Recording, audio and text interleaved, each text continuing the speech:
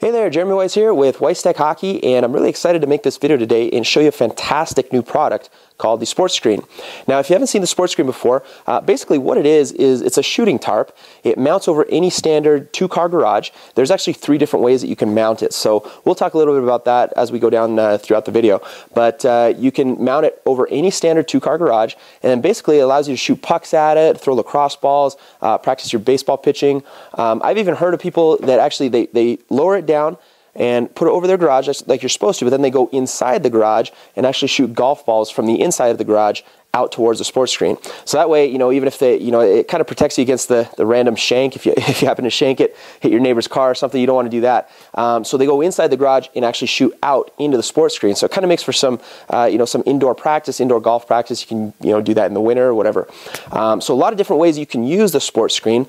And one of the biggest things that sets the sports screen apart from you know, some of your other shooting tarps or protective tarps is the fact that the sports screen is motorized. So that's a huge difference. Uh, it actually comes with a remote, and all you need to do is push the button and uh, you know it raises it up or lowers it down and that way it allows you to still use your garage to you know to park your cars in and out of and you're not having to get out there get out on a ladder or whatever and roll it up um, like you do with some of the other shooting tarps that are out there. So um, fantastic product. What I want to do in this video, the sports screen itself, it, it kind of speaks for itself. I don't think I'm going to have to really sell you on how you know how useful this will be. But what I want to do is just kind of show you how I put it together because I think that's the, one of the biggest things that you know you look at it, you go, oh man, it's a, motorized motorized deal here. Um, that must be hard to put together. It's actually pretty easy to put together if you know what you're doing.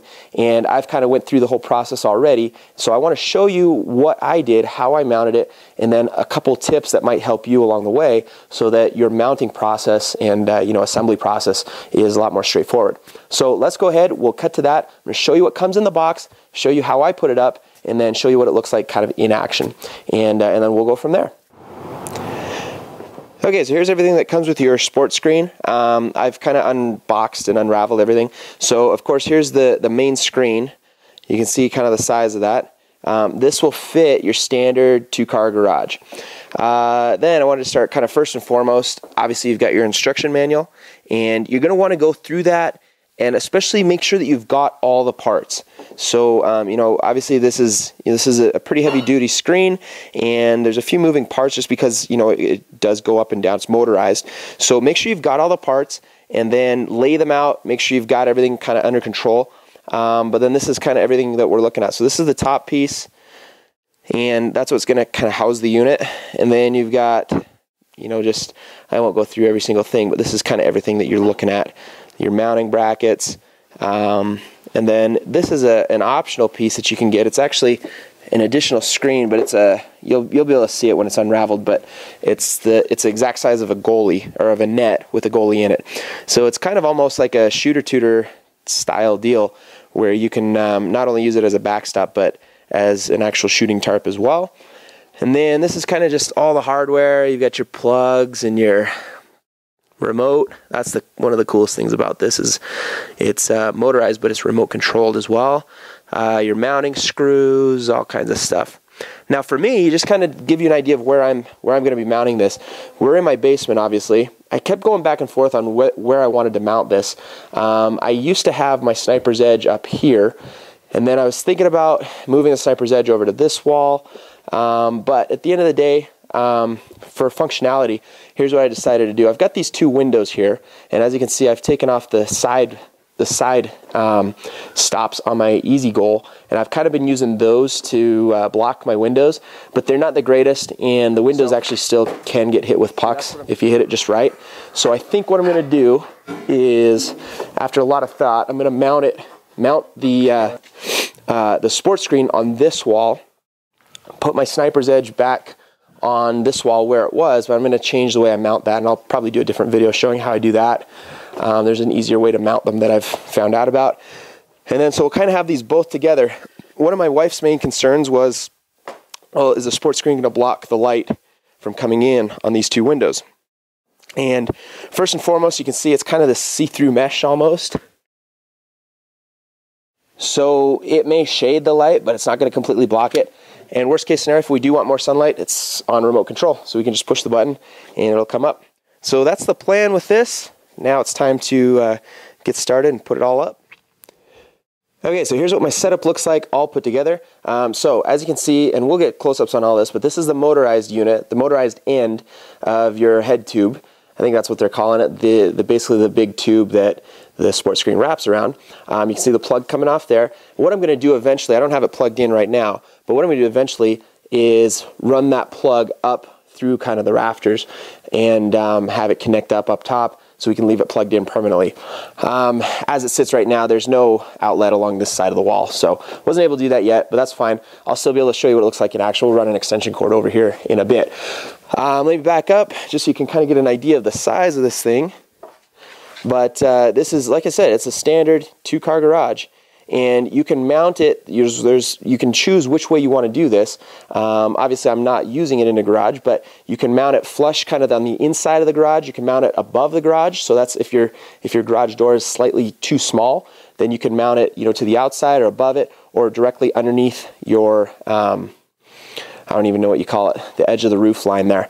So um, a lot of different ways to do it. One of the really nice things about the sports screen is actually still looks good, and you can get optional awnings that go over top of it that kind of conceal the whole unit. And you can get these, I've seen pictures of them online where you can get them um, actually in the same shade as the trim of your house.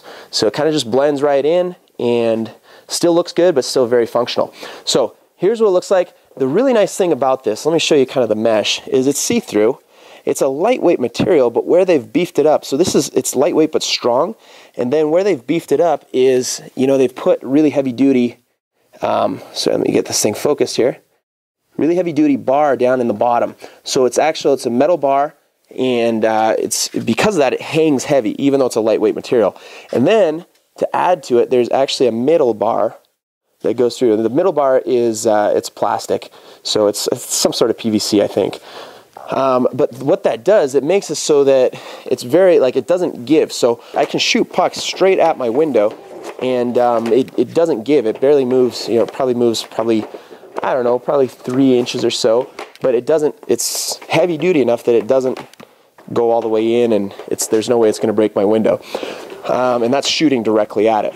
Well, let's jump here. I put a chair up. Actually, let me show you the, the rest of the unit. I talked about how I was going to hang my uh, sniper's edge over here, and so I've done that. So basically, now we've got two of the walls they're completely safe, safe to shoot at. Um, when I'm using the sniper's edge, that's its target in and of itself. Um, if I ever want to do, you know, like work on posts or something and throw a net in there, then I can just throw the, the net in front of the sniper's edge and then it acts as a backstop. So that's kind of how I'm using it. This is my new setup. If you've seen any of my old videos, you know I had like two by fours connecting the two pieces of wood. Now I've done, uh, actually, there's actually one of our uh, one of our watchers on YouTube that made the comment, hey, why don't you just use chain? And I was like, yeah, that would be a lot easier. So I figured if I was taking the whole thing down anyways, um, I'd do the better setup. It was a lot easier. I actually hung this whole thing, hung both of them myself. Uh, I do recommend if you've got a partner to use it, or if you've got a partner to help you, use your partner. Um, but it can be done alone if you need to. Um, the sniper's edge was really easy to hang by myself with the chains. So that was no problem there. Uh, let me show you this. So what you're going to do is uh, you start with the head, the head tube, the header tube, and this comes in three pieces. I showed you that already. You're going to hook them all together, take the self-tapping screws, screw the pieces so they're not going to come apart. Um, so you fasten them together with the screws, and then um, you're going to move over to your mounting brackets. Now let me show you exactly kind of what we did here. Um, as you can see, I've got, since I was going straight into concrete, my first attempt what I tried to do was uh, I, I thought I could um, buy a concrete drill bit and go straight into it. I think I could have done that, but my drill was just it was too wimpy for that. So it wasn't I wasn't making any progress with it. So what I did, I had a carpenter friend um, who he does framing, and so I knew he had a concrete gun. And I don't know much about this stuff. I just knew this one would work you may have a better option than this or not, but this is one of those guns where um, basically this is for shooting studs straight into concrete um, when you're framing a basement. And it works with, these are the nails, and then it actually works with shells. So um, I think they're 22 caliber shells, if I'm right. Like I said, I don't know a whole lot about this, but uh, I know that it worked. So all you do is load a shell in, load a nail in, and um, put it where you want to put it and fire it in there. So what I did was instead of drilling straight in the concrete, you can see I just hooked up a two by four, tapped it right in with the uh, with the nail gun, and then I drilled straight into that. And it's really sturdy. It's not going anywhere. Um, easily sturdy enough to hold hold the unit. Um, also, just kind of a detail, but make sure you use the cotter pins that come with the with the setup so that this thing isn't going to slide out on you eventually. Um, but that's what you do. So you load up the whole thing. You put the you mount the brackets, measure it out, mark them, mount it, and then um, you've got your header tube already put together. You slot that in, and the same. It's kind of the same setup on the other side. Slot this in, and then the actual tarp attaches with Velcro. So you can see that it's kind of the Velcro edge there. And it attaches with Velcro and it's longer than it needs to be, so you can make adjustments. Um, you know, you can, if you do need to mount it a little bit higher than your garage or whatever, you can make those adjustments. And the Velcro is strong, and then since it's wrapped over itself, um, it's not going anywhere. So it's really good. I was, I was really impressed with the engineering on this product and I just it's a it's a fun product to use. It's really nice. So um, that's the sports screen. What it looks like set up. Now let me show you just over here real quick. Then I'll show you what it kind of looks like up and going up and down. But over here, you can see. I'll try to zoom in here. There's two screws in there, and it comes with a special. Um, sports screen comes with a special wrench that will help you. You can stick it in there pretty easily. And these are how you adjust your heights. So you want to adjust how high, like where, where it will stop when it's going up, and you want to adjust where it will stop when it's going down. That way, um, it's all automatic. You don't have to, um, you don't have to stop it manually when you get to the ground. So I've got this set to stop. My garage or my basement floor is slightly uneven. So it's a little bit higher at that end than it is at this end, but I've got it stopping about a quarter inch off the ground at the at this end and then it's probably at the very end there it's about an inch off the ground maybe an inch and a half off the ground but um, all I do is push the down button and it goes down stops right where it needs to stop push the up button it goes up stops right where it needs to stop and it's good to go so let me go ahead I'm going to uh, actually show you what this looks like in action going up and down and then uh, we'll go from there okay so I've got the sports screen plugged in now um, as you can see I took and mounted the the uh, remote bracket right onto my wall here. So that's kind of cool. I mean, you can mount that, keeps the remote safe. Tried to put it high enough that my kids couldn't really reach it. Um, so they'll have to probably grab a chair if they want to do that. But all we got to do now is, see if I can get these both in the picture at the same time, is let's just push up. And there it goes. So you can see it pulling itself up.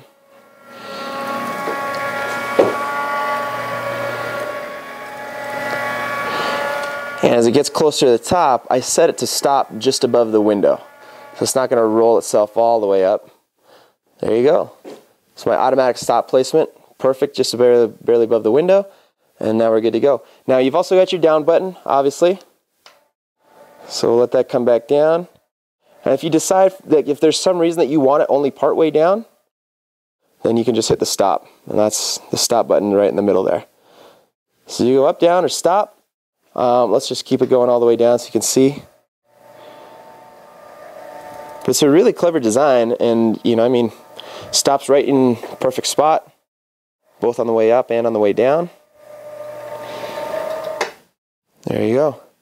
It makes it so you don't have to get out on the ladder and roll the thing up like you do with some of the other tarps.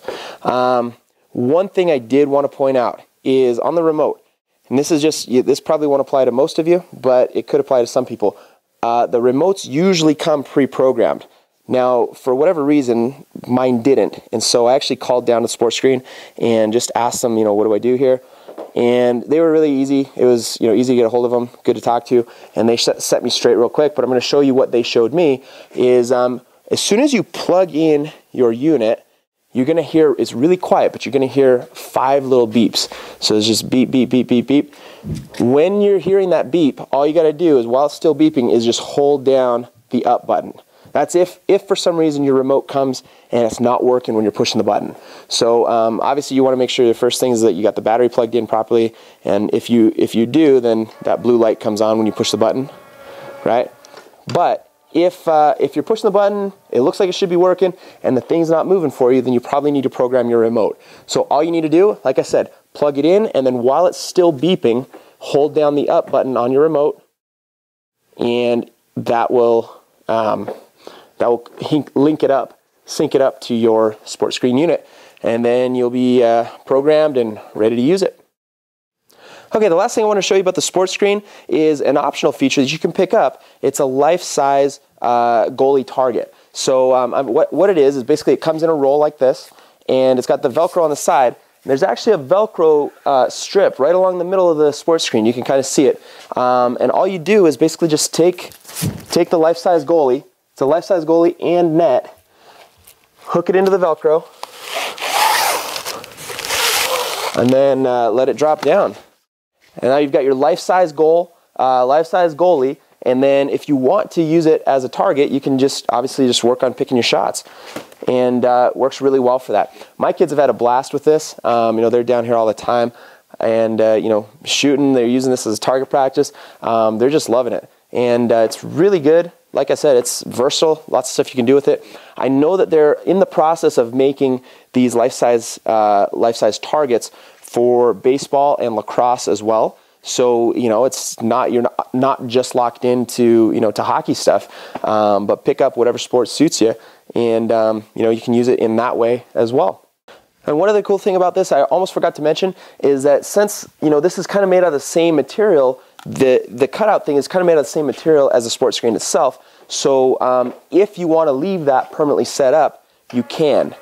This will roll up right with the sports screen. You don't have to worry about taking the goalie off and on, and uh, you can just kind of leave it like that. So again, really clever engineering on this, clever design, and uh, makes for a very useful, useful product. So that's what it looks like if you're if you're rolled up with the goalie still attached. And obviously when you want to use it again, just go ahead and bring it right back down. So that's your sports screen. Again, fantastic product. Um, I'm really enjoying it. It's really working well for what I needed it for, which is protecting those two windows. And, um, you know, definitely something I recommend. So you can pick these up at hockeyshot.com and also make sure you visit us at weisstechhockey.com for your coupon code so you can save some money off your order.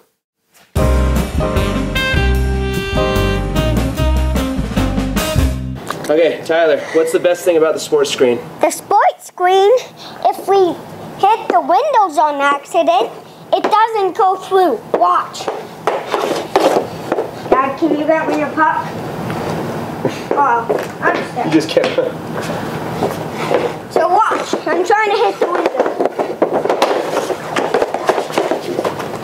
Didn't hit it at all. Oh, that's pretty good. Chase, what's the best thing about the sports screen? Look at me. Best part, the goalie. It's the so best strong. part is the goalie? Yeah. It's, just, it's just so strong. Can I shoot?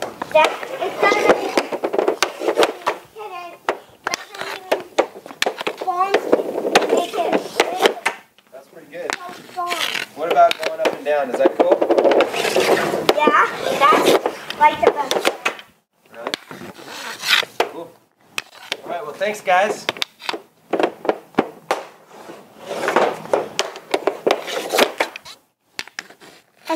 I'm doing it a long time. You doing it a longer time? Yeah. Nice one, bud. Watch this.